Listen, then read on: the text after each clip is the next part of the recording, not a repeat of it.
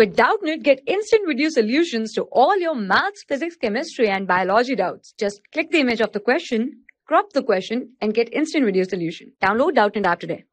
The question is, if the energy of a photon is 10 electron volts, then its momentum is, and we are given four options from which we have to choose the correct option. Let's find out.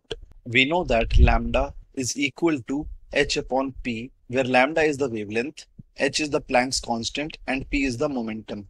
So we can write p is equal to h upon lambda. And we also know that c is equal to nu into lambda, where c is the speed of light and nu is the frequency. So from here we can write lambda is equal to c upon nu. Let's substitute the value of lambda in this equation. This will give us p is equal to h nu upon c. Energy E is equal to h nu.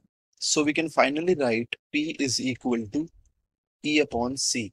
It is given that the energy is 10 electron volts. So E is equal to 10 into 1.6 into 10 raised to the power minus 19 joules. And we know that C is equal to 3 into 10 raised to the power 8 meters per second. Let's substitute the value of E and C in this equation. This will give us P is equal to 10 into 1.6 into 10 raised to the power minus 19 divided by 3 into 10 raised to the power 8. And after simplifying this equation, we get P is equal to 5.33 into 10 raised to the power minus 27 kg meters per second. Now let's check the options.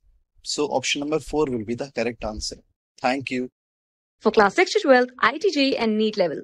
Trusted by more than 5 crore students. Download Doubtnut app today.